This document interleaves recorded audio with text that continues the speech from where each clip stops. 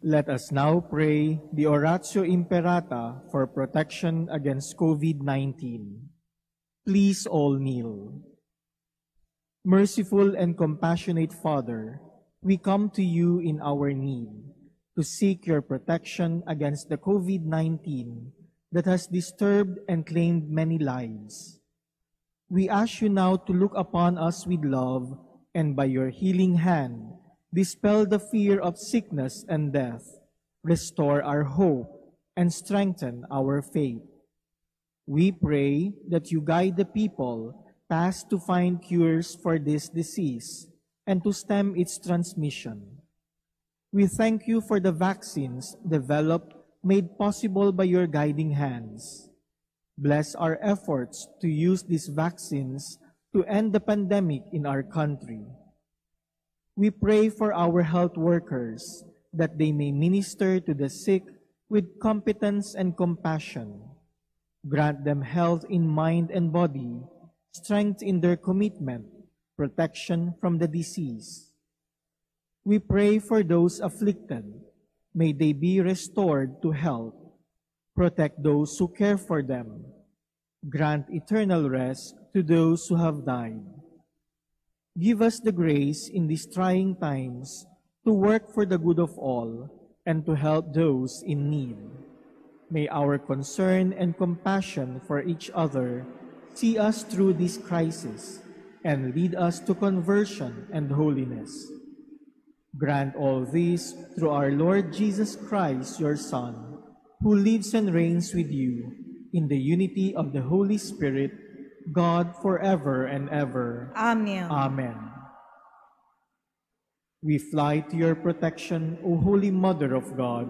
Do not despise our petition in our necessities, but deliver us always from all dangers. O glorious and blessed Virgin. Amen. Amen. Our Lady, health of the sick.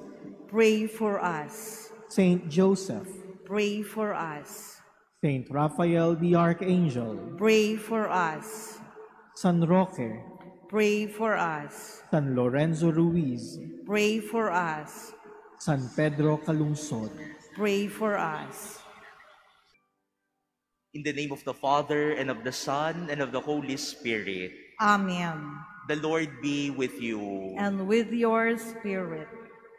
My dear brothers and sisters, we come in this Eucharistic celebration in honor of the Blessed Virgin Mary.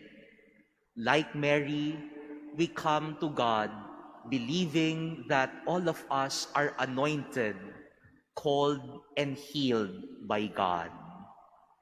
To prepare ourselves to celebrate this Eucharist, let us first acknowledge our sins and humbly ask the Lord for His pardon and strength.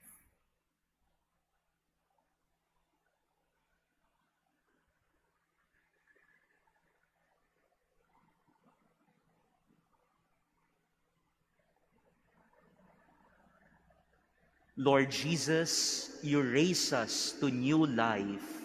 Lord, have mercy. Lord, have mercy. Lord Jesus, you forgive us our sins. Christ, have mercy. Christ, have mercy. Lord Jesus, you feed us with your body and blood. Lord, have mercy. Lord, have mercy. May Almighty God have mercy on us, forgive us our sins, and bring us to everlasting life. Amen. Let us pray.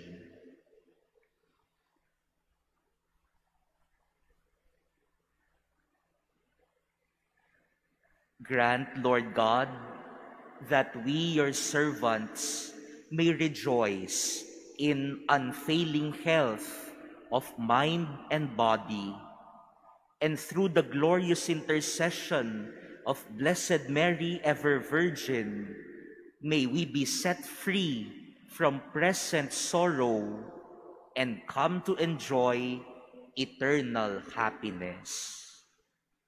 Through our Lord Jesus Christ, your Son, who lives and reigns with you in the unity of the Holy Spirit, God, forever and ever. Amen. Please be seated.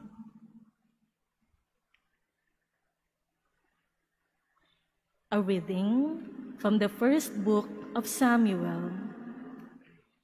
There was a stalwart man from Benjamin named Kish, who was the son of Abiel, son of Zeror, son of Bechorath, son of Aphiah, a Benjaminite. He had a son named Saul, who was a handsome young man.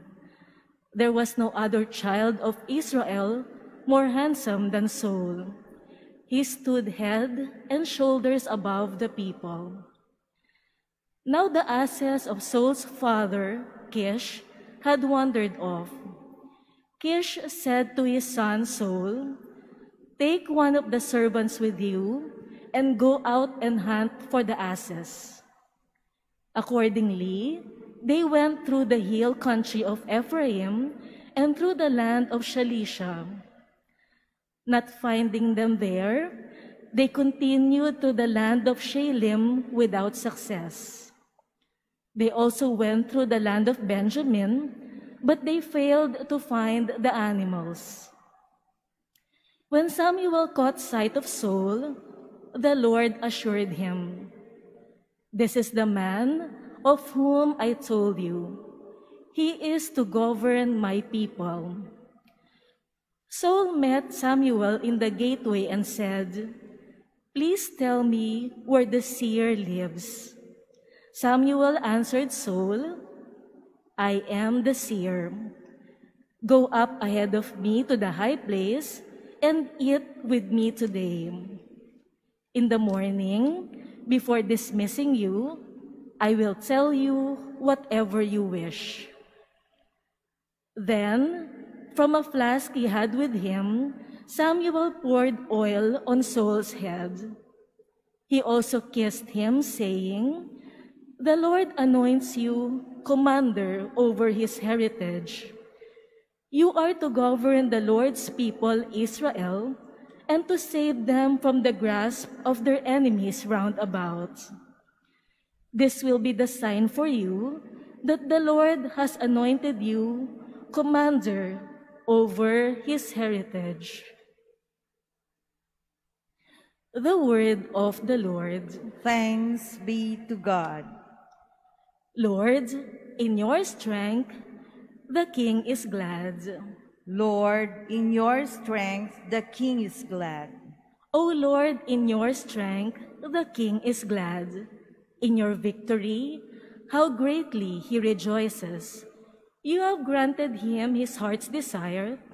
You refuse not the wish of his lips. Lord, in your strength, the king is glad. For you welcomed him with goodly blessings. You placed on his hand a crown of pure gold. He asked life of you. You gave him length of days forever and ever. Lord, in your strength, the king is glad. Great is his glory in your victory. Majesty and splendor you conferred upon him. For you made him a blessing forever. You gladden him with the joy of your face. Lord, in your strength, the king is glad. Please all stand. Alleluia, Alleluia, Alleluia. Your words, O Lord, are spirit and life. You have the words of everlasting life. Alleluia, Alleluia, Alleluia.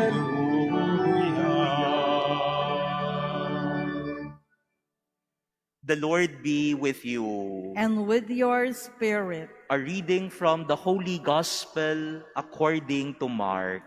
glory to you, O Lord.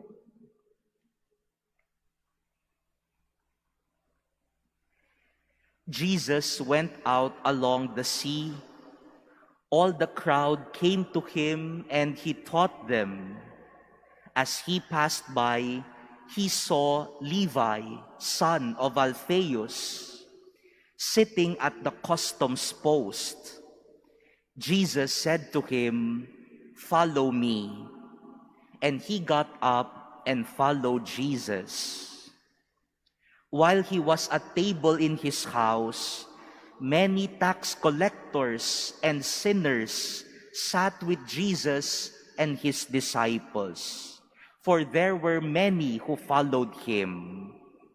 Some scribes who were Pharisees saw that Jesus was eating with sinners and tax collectors and said to his disciples, Why does he eat with tax collectors and sinners? Jesus heard this and said to them, Those who are well do not need a physician, but the sick do. I did not come to call the righteous, but sinners. Brothers and sisters, the gospel of the Lord. Praise to you, Lord Jesus Christ. Please be seated. My dear brothers and sisters, our readings today speak of the beautiful symbol of being anointed by God, of being chosen by God. In our first reading today from the first book of Samuel, we hear of the story of the choosing of Saul as the king of Israel. And God uses the symbol of the anointing with oil. His head was anointed with oil, symbolizing that God has chosen him. That is why the word anointing is about anointing with oil, but it is also about being chosen by God.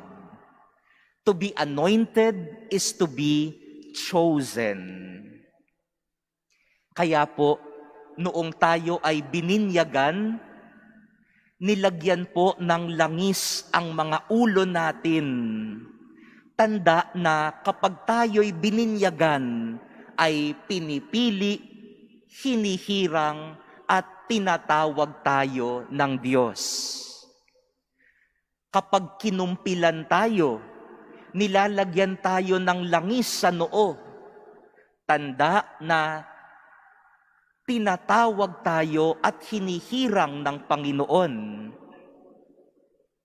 Kapag ang isang pari ay inoordinahan bilang isang pari, nilalagyan ng langis ng ang kanyang mga kamay. At kapag ang isang obispo naman ay inoordinahang bilang obispo, binubuhusan ng langis ang kanyang ulo. Kapag ikaw ay pinipili at hinihirang ng Diyos, nilalagyan tayo ng langis bilang tanda na tayo ay kanyang tinawag. In baptism and confirmation, all of us were anointed on our head with oil because we are called and chosen by God. When priests and bishops are ordained, they are also anointed with oil, symbol of the calling of God. But my dear brothers and sisters, to be anointed is not only to be called. To be anointed is also to be healed. Ang paglalagay ng langis ay hindi lamang pagtawag at paghirang, kundi ito rin ay pagpapagaling, paghilom ng Diyos. In our gospel reading today, we hear about the calling and anointing of Levi. But Levi was not only called, he was also healed by God. He was a public sinner in the eyes of Israel. And when Jesus was eating with tax collectors and sinners, it is the start of the process of healing of Jesus. My dear brothers and sisters, to be anointed is to be called, but to be anointed is also to be healed. God's anointing is always healing and calling. That is why when God heals you, He heals you for a purpose. He heals you because He wants also to call you. And when God calls you, God will also heal you. Kaya po sa mga tinatawag ng Panginoon sa isang natatanging pagtawag, when God calls you to a vocation, for example, if you are called to religious life, siguro ko merong mga nanonood sa atin ngayon online na mga religious communities, no? Alam po natin na maraming nanonood sa atin online ng mga religious congregations, communities, religious sisters. Maybe some of you who are watching are seminarians, maybe missionaries or religious brothers. Some of us at times are afraid of the calling of God because we are wounded. And sometimes we look at ourselves as unworthy of the calling. Remember, my dear brothers and sisters, God heals those whom He have called. Kapag tinawag ka ng Diyos, ay pagagalingin ka rin niya. Kung ano man ang nararamdaman mo na kakulangan sa sarili mo, kapag tinawag ka ng Diyos, kasama doon ang kanyang pagpapagaling. So do not be afraid to respond to God's calling. Calling is also healing. Maybe some of you who are watching are married couples or couples who are about to get married.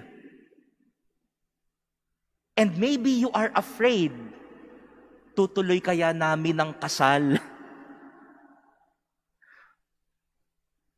E kinasal na kami, bakit nag-aaway pa rin?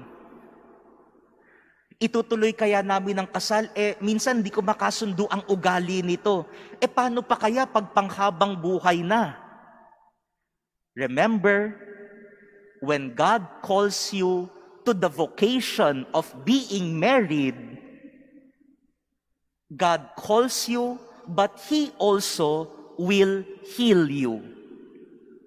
Kapag tinatawag tayo ng Diyos, hinihirang tayo, halimbawa sa buhay pag-aasawa, kasama sa pagtawag ng Diyos ang kanyang paghilom palagi at pagpapagaling.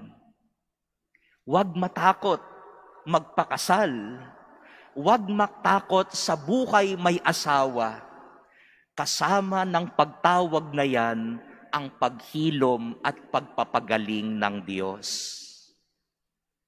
Maybe some of you who are watching right now are sick because of COVID-19.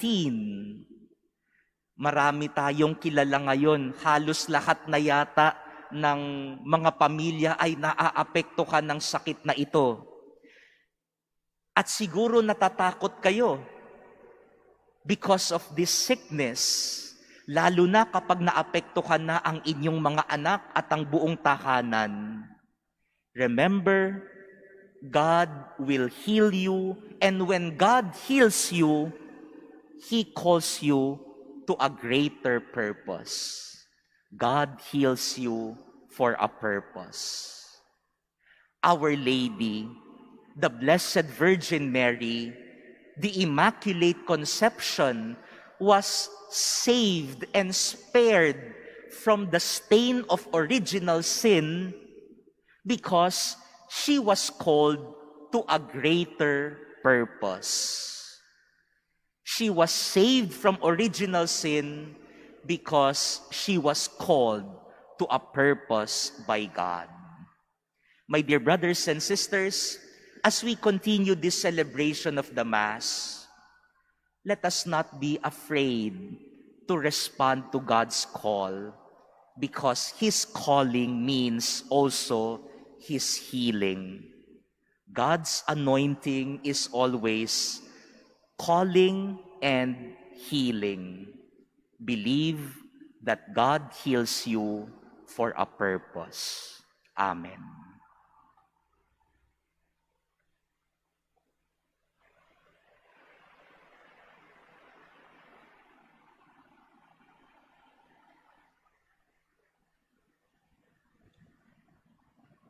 Please all stand. Christ came to call sinners, offering them salvation. With humility of spirit, aware of his call, let us bring our prayers to the Father. For every petition, let us say, Divine Physician, touch us. Divine Physician, touch us. that the church may be seen as the healing home of the weak and the sinful, let us pray to the Lord Divine Physician, touch us. that those who hold public office may be honest and faithful to their duties. Let us pray to the Lord Divine Physician, touch us. that consecrated persons, like Mary, may dedicate their whole lives to God and to the Church through their witness of poverty, chastity, and obedience.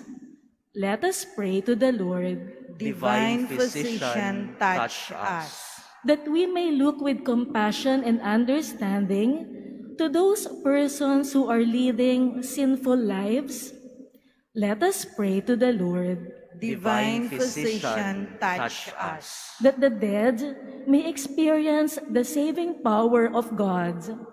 Let us pray to the Lord. Divine Physician, touch us. In silence, let us now pray for our personal intentions and for all the intentions offered in this Mass.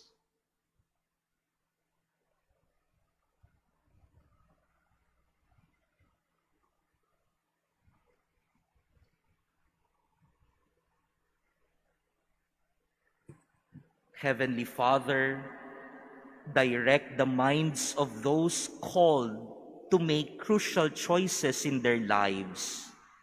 Give them an understanding heart, sound judgment, and a burning desire to do what pleases you. We make our prayer through Christ our Lord. Amen. Please be seated.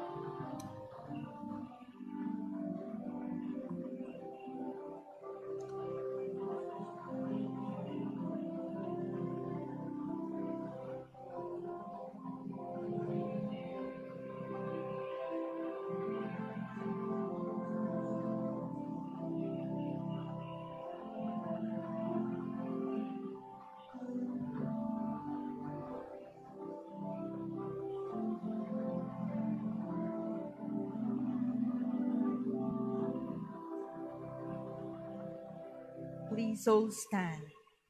Pray, brothers and sisters, that my sacrifice and yours may be acceptable to God, the Almighty Father. May the Lord accept the sacrifice at your hands for the praise and glory of his name, for our good and the good of all his holy church.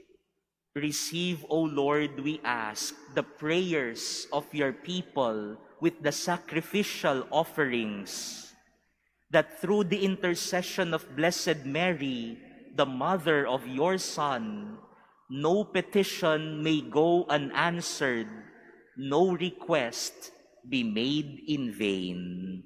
Through Christ our Lord. Amen. The Lord be with you. And with your spirit, Lift up your hearts. we lift them up to the Lord. Let us give thanks to the Lord our God. It is right and just. It is truly right and just, our duty and our salvation, to praise your mighty deeds in the exaltation of all the saints, and especially as we celebrate the memory of the Blessed Virgin Mary, to proclaim your kindness as we echo her thankful hymn of praise. For truly, even to earth's ends, you have done great things and extended your abundant mercy from age to age. When you looked on the lowliness of your handmaid, you gave us through her, the author of our salvation, your Son, Jesus Christ our Lord. Through him, the host of angels adores your majesty and rejoices in your presence forever. May our voices, we pray, join with theirs in one chorus of exultant praise as we acclaim.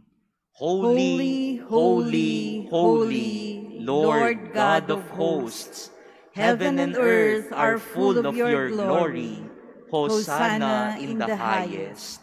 Blessed is he who comes in the name of the Lord.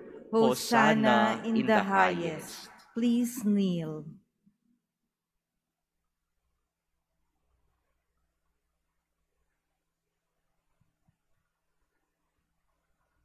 You are indeed holy, O Lord, the fount of all holiness. Make holy, therefore, these gifts, we pray, by sending down your Spirit upon them like the dewfall, so that they may become for us the body and blood of our Lord Jesus Christ.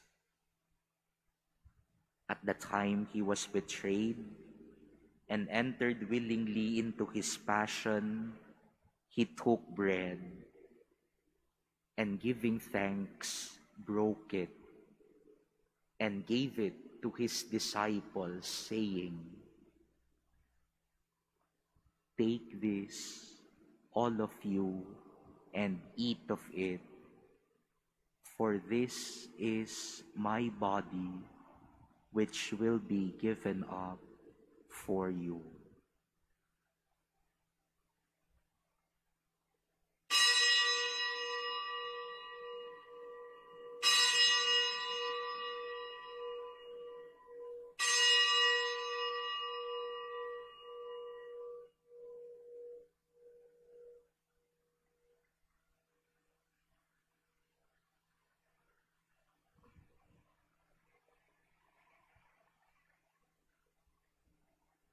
In a similar way, when supper was ended, he took the chalice, and once more giving thanks, he gave it to his disciples, saying, Take this, all of you, and drink from it, for this is the chalice of my blood, the blood of the new and eternal covenant which will be poured out for you and for many for the forgiveness of sins. Do this in memory of me.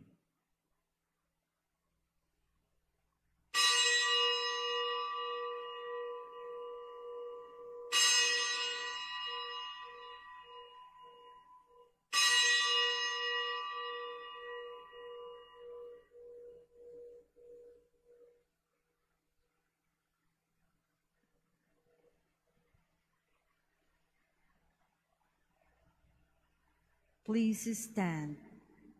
The mystery of faith. We proclaim your death, O Lord, and profess your resurrection until you come again.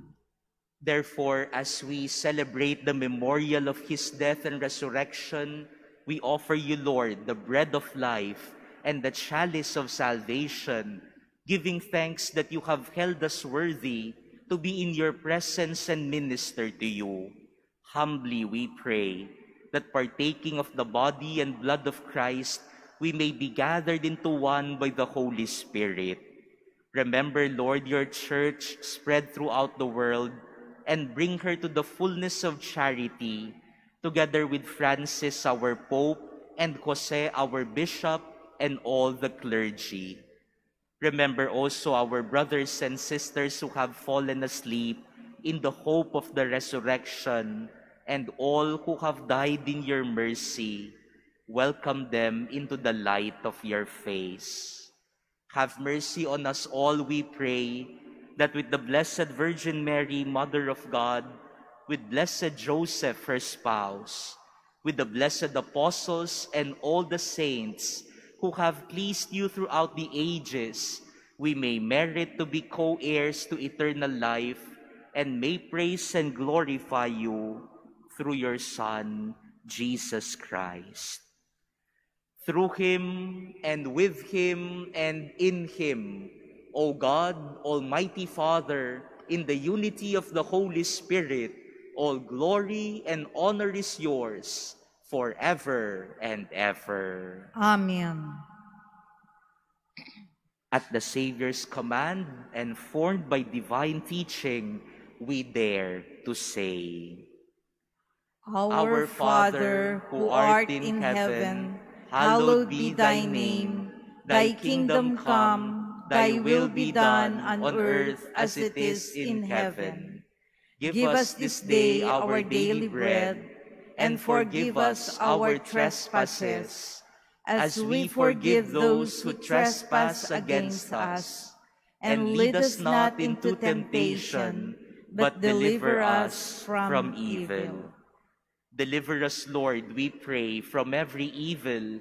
Graciously grant peace in our days, that by the help of your mercy, we may be always free from sin and safe from all distress, as we await the blessed hope and the coming of our Savior, Jesus Christ. For the kingdom, the power, and the glory are yours now and forever.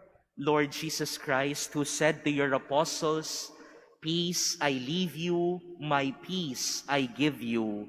Look not on our sins, but on the faith of your church, and graciously grant her peace and unity in accordance with your will, who live and reign forever and ever. Amen. The peace of the Lord be with you always. And with your spirit. Let us now offer each other the sign of peace.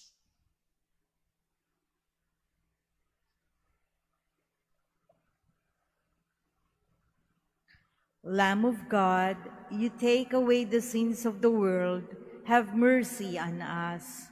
Lamb of God, you take away the sins of the world, have mercy on us. Lamb of God, you take away the sins of the world, grant us peace. Please kneel.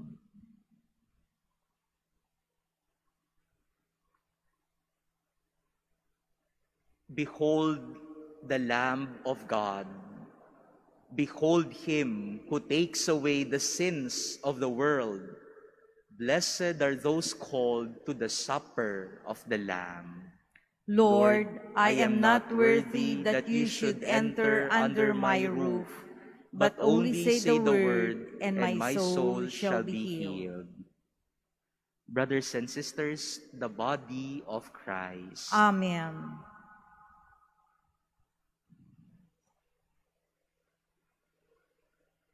Act of Spiritual Communion.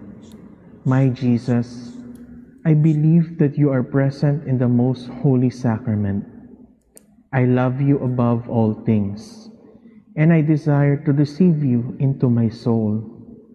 Since I cannot at this moment receive you sacramentally, come at least spiritually into my heart.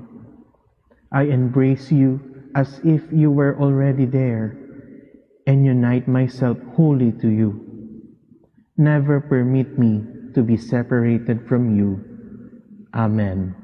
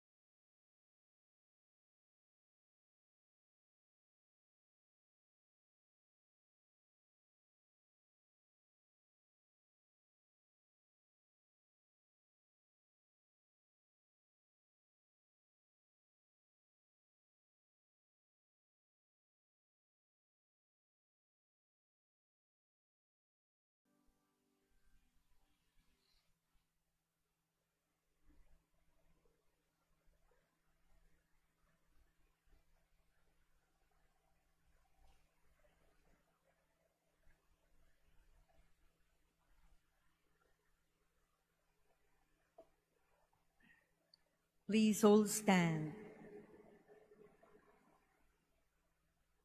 Let us pray.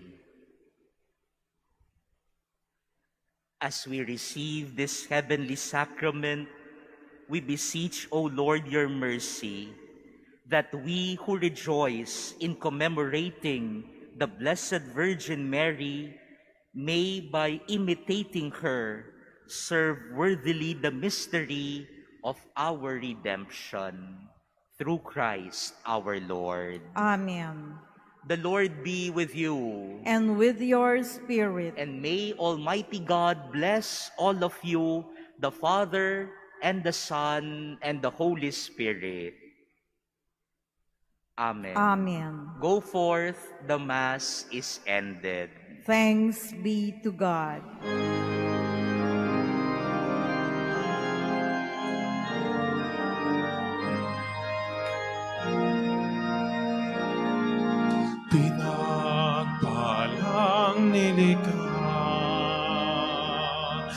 Ipinaglihing walang sala, pusong dalisay dakila. Maria, ina